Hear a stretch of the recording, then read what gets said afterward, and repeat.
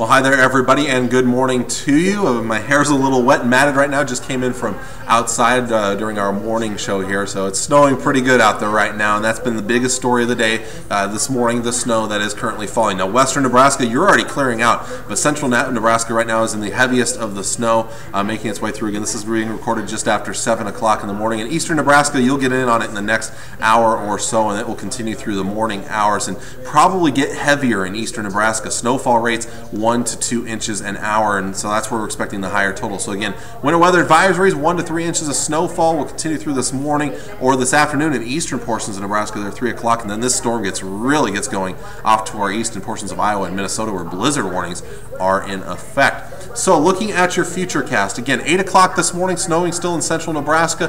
Heavier snow starting to develop out towards the east. Dry out west as skies are starting to clear out. Cool, windy conditions.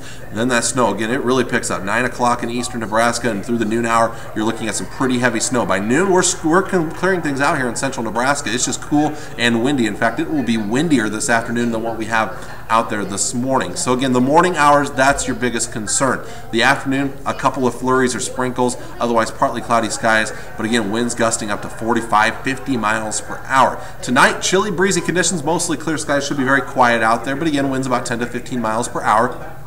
Tomorrow, another windy day, not as bad as today, but still could see those winds sustained up to around 30 miles per hour, gusts as high as 35 to 40 miles per hour. It's not quite as bad as today, but still quite windy out there. And a milder day, going to be a little more spring-like, 50s to the south of that front, 40s to the north of that frontal boundary, but winter weather will return for the weekend and much of next week as we wrap up the month of February. In fact, we'll see even colder air uh, move in. So again, also mentioning the wind, once that wind chill advisory comes, or winter, excuse me, the uh, winter weather advisory comes to an end, wind advisories will be in place until 6 o'clock this evening, statewide in northern Kansas for those gusts up to 50 miles per hour. So again, strong winds. Now temperature-wise, we do rebound a little bit thanks to that sun this afternoon into the mid and upper 30s, lower to mid 40s across the entire area. But again, the winds are going to be the biggest issue, and it's going to make it feel colder. Again, you see maybe just a couple of flurries or sprinkles this afternoon, snow lasting a little bit longer. It could mix back with rain in eastern portions of the viewing area. Your extended forecast, nicer tomorrow, although quite windy. We'll go 52, mainly sunny conditions,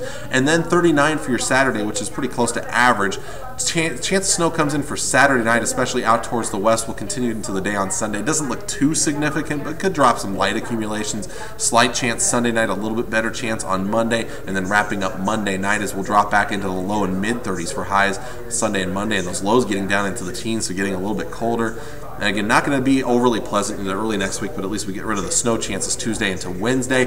But it looks like more cold air could be on the uh, way as we get towards the end of next week. We could get a pretty good shot of cold air coming in for that last day of uh, February. So something to watch for beyond our seven-day forecast. So again, this morning, those are the biggest concerns with the visibility restrictions and some accumulating snowfall. Again, around an inch in the Tri-Cities, but we could see upwards of three inches in eastern portions of Nebraska. So that is your forecast. Take it easy out there for today. We'll see you on what will be a whole lot better day out there on your Friday. So until next time, I'm meteorologist Travis Klanecky.